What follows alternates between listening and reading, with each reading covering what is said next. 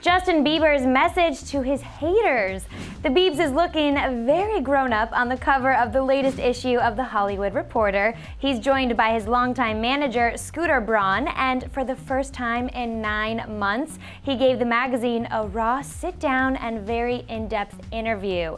JB responded to all the recent negative press, and his message may just surprise you. He said, quote, I don't give a f not I don't give a f to just be reckless and do whatever, but I don't give a f what they say. I know who I am and what I'm doing in my life and what I've accomplished and continue to accomplish as a performer, as a writer, as an artist, as a person, as a human being. I'm happy with the man I'm becoming. Okay then. Justin also revealed that Eminem reached out to offer up some advice to him, and get this, you guys, he shares a weekly phone call with Will Smith where they discuss any problems that Justin may be having. Scooter and Justin also got candid about what their professional relationship is like. Bieber claims he has complete trust in his manager and at one point even said that Scooter is like a father figure to him.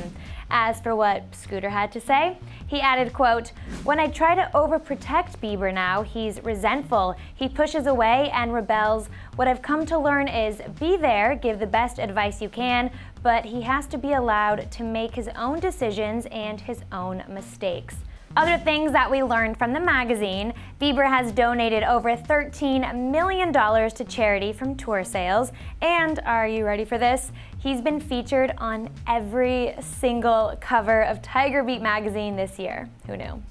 Justin also assured the magazine that his upcoming movie, Believe, is not just a fluff piece, but that it's really honest and goes in depth to show everything he's been going through lately. In fact, he gave a three hour sit down interview to the director to make sure that everything was covered. For more, just make sure you guys pick up the newest issue of The Hollywood Reporter. It hits newsstands tomorrow. In the meantime, I want to know what you think of this. Should JB care what people think about him, or are you happy that he's just doing what he wants and living his life?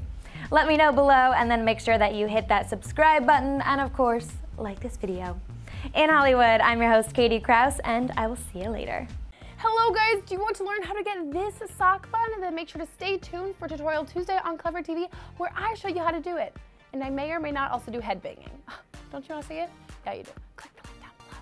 And you want to make sure you cover it on, on all sides because you don't want it peeking out. You just want to look like, look, I'm just really good at teasing, not like, hey, there's a foreign object in my hair.